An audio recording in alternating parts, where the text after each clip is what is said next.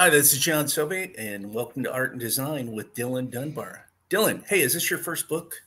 It is actually. Um, I actually wrote three, technically, um, over the past year and a half, and this is the first one on deck to come out. And I picked this one to make it a little easier to learn all my first book lumps and uh, you know, rumble strips and hurdles. So I figured it'd be easier to get something out and get a horse in the race while I can uh, continue editing the other two books I have, which should be out later this year. But okay, what was the impetus? What was the thing that made you say you wanted to write a book?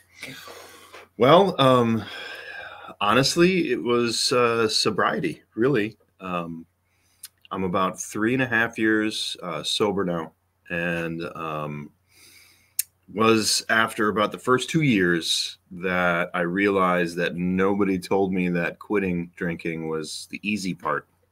That um, you have all these feelings that you have to deal with now, and staying sober is the hard part, and that's what takes all the work. So I ended up in uh, therapy, uh, which I highly recommend to anybody that's trying to overcome anything or just wants it anyways um, she gave me my therapist gave me all these exercises to start journaling and to start writing um, these essays. And i took to it and was like wow this is i really enjoy doing this. Um, it's giving me this dopamine fire that would happen when i would be playing on stage or anything like that. So i figured you know what? Let me let me try my uh, let me try this and let me see how far i can go um, I looked at my wife and was like, "Hey, I think I want to be a published author." And um, a year and a half later, I've got a book coming out. So basically, it was uh, sobriety that kind of started the whole thing, and uh, gave me a new avenue to go down that I really enjoy. Okay, so you have uh, your book release is actually this week. I think it's Wednesday night. Yep. Right? So we got to do Thursday. a commercial for that. Thursday, the 9th. And what are the details? Um, it's at um, it's called uh, Bell's Lounge, and it's actually inside Valentine Distilling over there on Vester in uh, Ferndale. Um, it is doors are at seven, and um, I'll have my books, um, book signing I have my brother who also does uh, photography. He will have some prints for sale. Um, I have Dead Fred, who is on the cover of the book.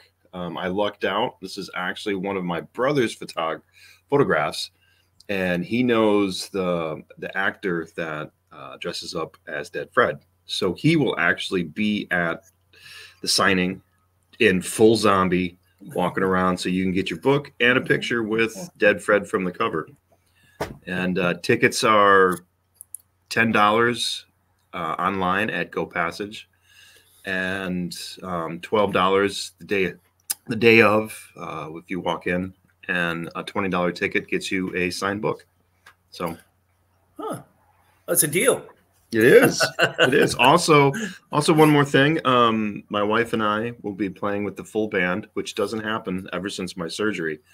Um, I uh, still have this finger still pins and needles from a crushed ulnar nerve, which I had surgery last September, which actually kind of put the book thing into go mode. Like once this happened, I was like, well, maybe it's time I should focus on this right now to kind of keep the creative juices flowing. So, um, the wife and I have a new album coming out uh, later this year, and we will be playing some of that new music with the full band also on Thursday night, along with the book signing, the zombies, and photography. It's just going to be a big party. It's going to be great. All right. So at this point, we have to put a little uh, commercial break in for the band because uh, uh, tell us about the band. Well, the band is my wife and I. Um, that is Jennifer Westwood, who is um, uh, who wrote a killer record and we have musicians with us that are killer. Uh, we've got Chuck Bartels, we've got Dave Belo, we've got Mark Lotus. so we'll have a five piece. We'll have keys, bass, drums, myself on guitar. and uh, Jennifer will be singing. And we have a new record called uh, Madman's World, which will be out later this year. And we'll be performing music from that new record as well. So, and you can find all that on jenniferwestwood.com as well. All right. See, I had to have that commercial break in there, so this works out perfect. Awesome. So this this Thursday is the book release. Twenty dollars gets you a book, and it gets you into the event. And the band is per- performing live as well, so Correct. bonus round. Correct. And, uh, and don't forget Dead Fred. That's right. You can get Dead Fred too. All right, now I got to ask you back to the book. Um, knowing now uh, what it takes to put it through, what advice would you have for a budding auth- author? Oh man, that's a good question. Um, just keep writing, just keep doing it, and visualize what it is that you want to do. Because there's nothing wrong with visualizing. Um, visualize that you want to be successful at what it is that you do. Keep writing. Um, there's so much stuff that I'm even still learning. Um, but seriously, just just keep writing and don't worry about the naysayers and things that are like, well, you can't do this, or you're going to fail at that, or or maybe you should do it this way or do it that way. Just just keep writing and have people that you trust in your corner to be beta readers that you can bounce your ideas off of and get feedback. Uh, that's really the building blocks, I think, of starting off being successful writer. I think so far. uh, because it, the first step is the hardest step. I, I I think Yep. it's amazing in a short period of time that you were able to accomplish this to actually be holding a physical. So Yeah. with that being said again too, what is the book about? Well, it's a collection of uh, eight stories. Um, and I'm a big fan of authors such as uh, Richard Matheson, who was kind of like the king of short stories. Um, he did the a lot of the Twilight Zone stuff. Um, he did I Am Legend. Um, he's known for just being a, uh, an amazing uh, short story author. And then Robert McCammon, who was another horror uh, author that I grew up who's still alive today, but I grew up in the 80s and 90s just devouring his books. So that's where I take my inspiration from. And the stories are very, um, there's a lot of dark humor, um, there's a lot of macabre, um, there's some twists. Um, very Twilight Zone meets Tales from the Dark Side, uh, Black Mirror. Um, and it's eight stories that go through everything that are from the disgruntled worker that hates his job to um, there's even a, a, zombie apocalypse story that takes place in an automotive call center. So if you've ever worked in corporate america and worked in a cubicle that's uh, one that story's for you. Um, um, there's a lot of things that i've learned from um, all the travels my wife and i have done uh, touring. So some of the places have um, places we've been and things that we've seen, I've kind of all incorporated all of that into my storytelling. So we have seen so much of the United States. So I'm using that as some of the backdrop for a lot of my stories is through experience and things that I've seen and um, things that we've done. So it's kind of a little bit of everything, everything I've been through. So hey, you want to do a little sample reading? Oh, sure. Sure. I have and no idea this is this is catching you from left field. Just thought you want to give it a little shot. yeah, I've, yeah, it's a good one. Um, let's see here. Um, let's see. I should know this by now because I need to start doing um, some readings. So let's start here um, try to pick pick the right one here. Let's see here. Hey, this is a premiere. Your I know. Reading. I like this. I know. I know. All right. here is I do have a story that um, does take place um, in Detroit, in Indian Village, um, about a couple that purchased a home on Seminole Street, and they discover a painting in the basement, and that painting is of the Nain Rouge. So if you are a Detroit history nerd, you know what our little macabre Nain Rouge is. So here we go. Beverly got up around 2 a.m. and left her husband snoring by himself on their queen size bed. The stairs lightly squeaked under each of their feet, each of her feet. She tiptoed across the first floor and into the living room. There she clicked on the Tiffany lamp and then sat next to the couch, sat sat on the couch and sat down and waited for her eyes to adjust. She smiled and pulled her legs up Indian style as she sat on the couch. It was as if the painting had called her down. There was something it wanted to tell her, some kind of secret that only she would know. A low hum began to ring in her ears. Beverly reflexively stuck her pinky in one of her ears to correct anything that might be causing her to hear this droning. Meanwhile, she couldn't hear, she couldn't keep her eyes off the painting. Reds and oranges seemed to swirl in front of her. It was as if the river was flowing across the canvas. The hum now became much louder. She tried to stick her finger in her ear once more, but she couldn't. She could move her eyes, but nothing else on her body responded to what she wanted to do. Her eyes darted around the room, looking for something that could help her. Panic was now blazing across the highways of her brain. The loud rumble now became a deep roar.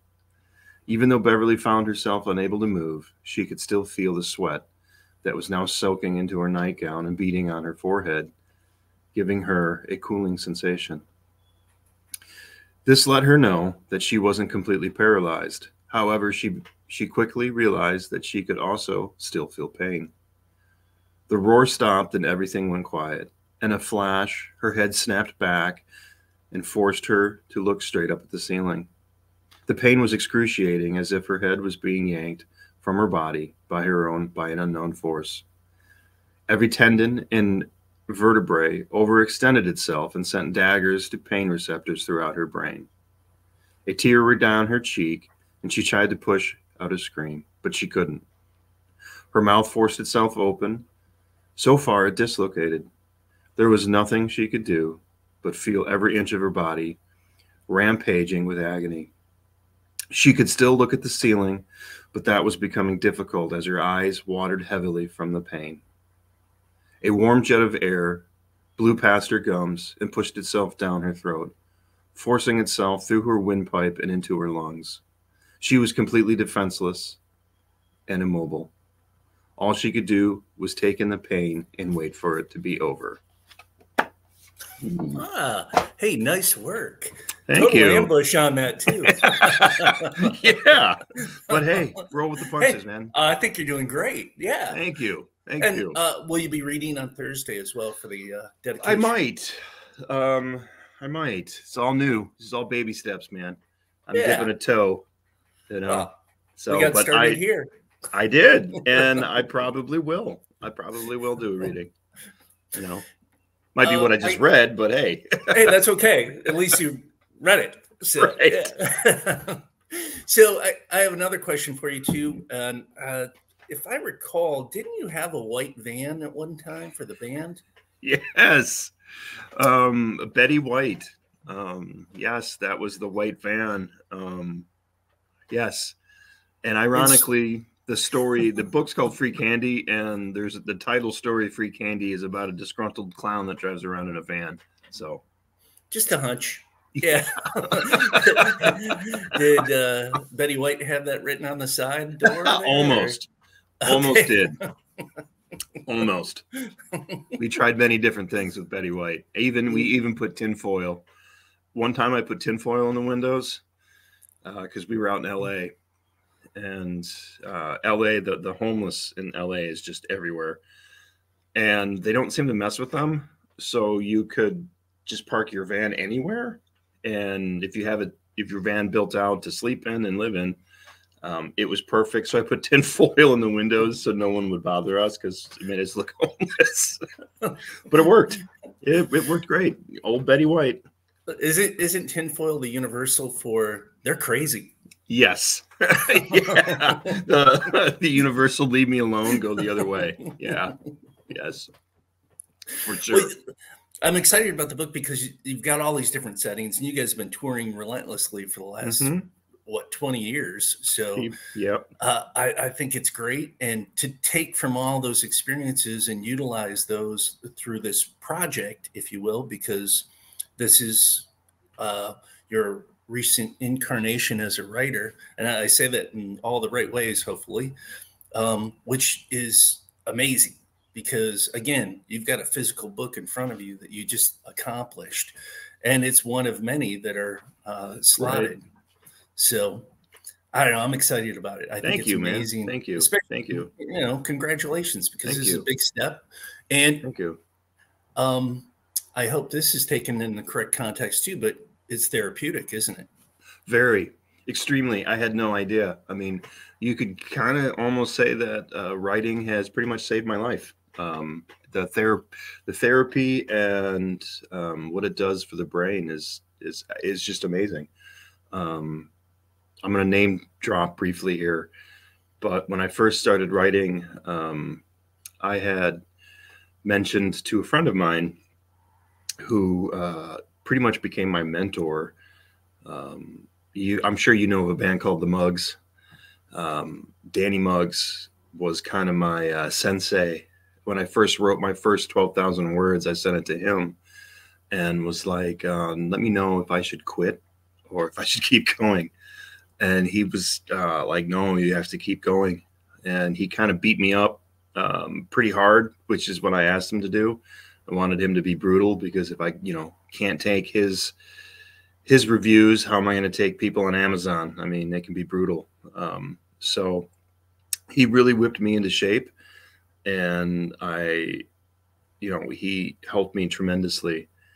And then I had sent early on, I had sent my um, first story to uh, Josh Malerman, and he's an old acquaintance of mine and he actually gave me some great feedback and was like, "Keep going. Um, this is great." And you're right. Writing is this superpower that um, fills your brain full of um, happiness. I guess is the best way to put that. So yes, it's like learning an instrument. It's like playing. It's like everything all over again. Um, it's like I'm a teenager playing guitar in the basement. You know, you you're missing that um, that whimsical, carefree, um, fun and up and down where everything is not so jaded yet. You know, if that makes sense. Yes, it does. But on on that note that you just made, the importance of uh, having a mentor and being a mentor, since yes. you are going to be a mentor for someone soon. Right. Um, if you aren't already, I don't, I don't. I'm taking liberties here, but the whole thing is they were important in your development. Yes. And can you speak to mentorship and how important it is in the writing? Um, it's huge because if you don't have the feedback or someone to show you some things, you don't necessarily know which direction you're going in. Um, whether or not it, it, it's you need that positive reinforcement, but you also need the you know the critique. You need someone to tell you no. You need someone to tell you um, maybe you shouldn't do that. You can do a little better. Uh, someone to, to push you, but not in a way that is um, heavy handed. They're pushing you in a positive way. They're lifting you up. They're, they're, they're telling you what you shouldn't do, but also giving you feedback on what is good, as opposed to some angry parent that's just saying, you're not good enough. You can do better. Um, the mentor kind of takes you on and teaches you the things that they've learned and um, put you in a direction in a more positive way. So it is essential, even with music, even with art, even painting, welding, anything that I think that's creative. A mentor is just crucial. And it really helps you get on the correct path in the direction that you uh, visualize you see yourself going. So, uh, mentor, find yourself a mentor. That's, you know, number one. Anyone starting anything out. Well, and and on that same note, what is the space in which you write? How do you prep to sit down and start putting words to paper? Well, I kind of um, there are really two ways um, I, I, I, believe, and uh, I'm sure I'm getting this wrong, but um, there's really two ways to do things when it comes to writing. You have the people that will create a storyboard and do kind of like a flow chart and create characters and scenarios and kind of map their their their writing out. And then there's the people that just sit down, open the program, and just start typing and those people are kind of insane. Um, and that's pretty much what I do. Um, my favorite author of all time in my top, well, in my top five is Cormac McCarthy, who wrote No Country for Old Men and Blood Meridian and The Road. And he used to write in a chain of consciousness. So he would just sit down and just start writing. And he would have a general idea of where the story is going to go but uh, you know points A, B, and C. He didn't know how to get to C. He just knew point A and point C, and then the rest he just you know, wrote as he went. And that's kind of how I do it. I have an idea in my head, and I will just start blazing out words and ideas for a story. I'm not worried about punctuation. I'm not worried about anything. I just blaze through and then I will go back and mold the clay and shape it into a story. Um, and that can take a year. The idea you can have, you know, you can write your story within like a week, if not less. But the editing and the massaging and the sculpting can take quite a while, especially to get it to where you want it to be. So at first, I just kind of jump off the cliff willy nilly, start writing, and then I go back uh, a few days later, if not a week or two weeks later, and be like, okay, what did I write? And then I start going through it and molding it into that vase from just a ashtray on, you know, of clay, if that makes sense. Is that a ghost reference? It is. oh, it is.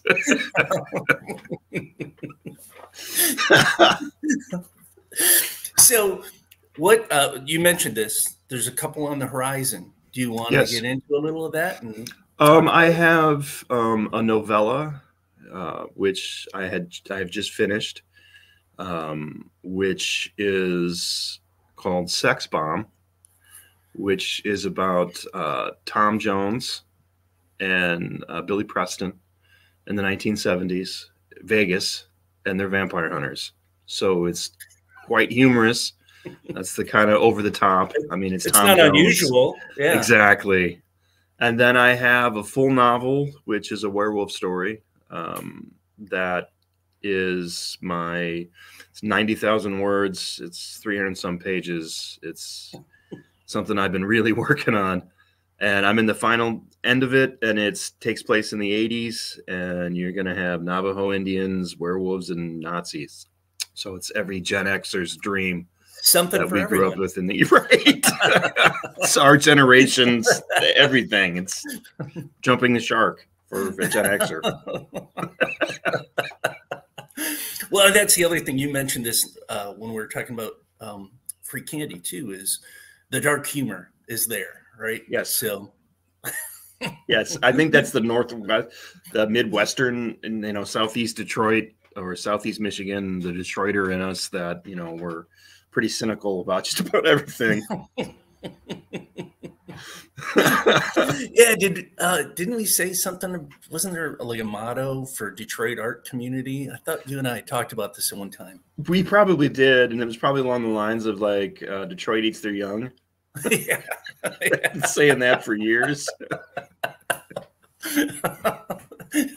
yeah, the, this yeah I, I mean, that is just pure entertainment too. so you got to be strong in the creative community. You, you do take a punch. You too. It's it's like the Badlands out there. You know, it's apocalyptic. All right, Dylan, I'm really excited that we're talking about this.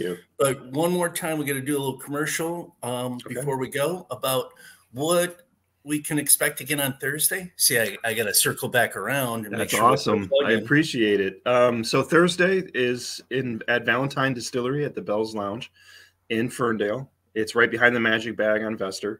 Doors are at 7 p.m. Um, the band will play around 8:15. Um, it's twelve dollars a walk-in for a ticket. You can go to gopassage.com and look up the event. Um, Dylan Dunbar free candy book release, and you can get advance tickets. Ten dollars gets you in. Twenty dollars will get you in and a signed book, or you can buy a book there, eh, however you want to do it. Um, so twelve dollars if you're just walking in, and doors are at seven. It's at Valentine in um, Ferndale, and it's going to be a blast. There's going to be art, books, music, and a live zombie wandering around. So have yourself a delicious cocktail, and you know, hang out with a zombie. What more could you want? I I couldn't think of a better book release plan. Right? That sounds Seriously. really good. Seriously. And it's all my wife's doing. It's all it's all Jennifer's doing. She's been kind of my publicist for this whole thing because I sit around with my thumb up my butt and write stories. So well, there's no better publicist than her when it comes I to marketing and promotion. I she's agree. on the top of my list. Uh, she is. She's unbelievable. She, she really is. Stop. So, and couldn't have a better person in your corner with all of this. I couldn't. So, I couldn't. No, this is great, and it's going to be is. fun. It will and, be. And, and again, it's this coming Thursday, and yep. I'm looking forward to it. This is going to be great. Yep. Dylan, thanks yep. for coming on the Art thanks, Design man. Show. I appreciate it. All right, it. brother.